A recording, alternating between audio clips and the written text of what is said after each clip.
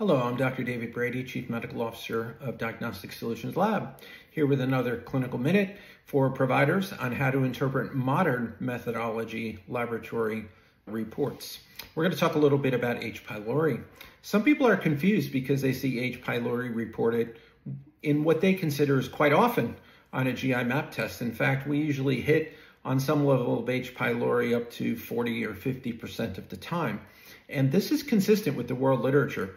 So that if you go on and do a PubMed search, you'll find that in all the meta-analyses out there, the global prevalence of some level of H. pylori, if you can look with a sensitive enough methodology like qPCR, is about 50%.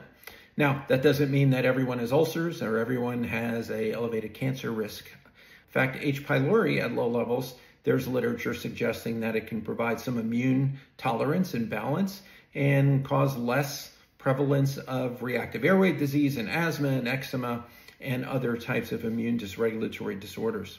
So we choose to um, actually report out the H. pylori we find. And if the probes hit it, it's there. You as the clinician then now have to contextualize that data.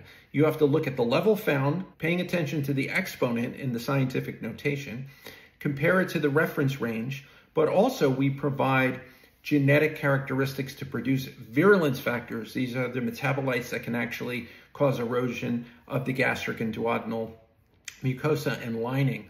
And with clinical symptoms, contextualizing your case and virulence factor and quantitative information, you then can make the decision, does it need treatment or not?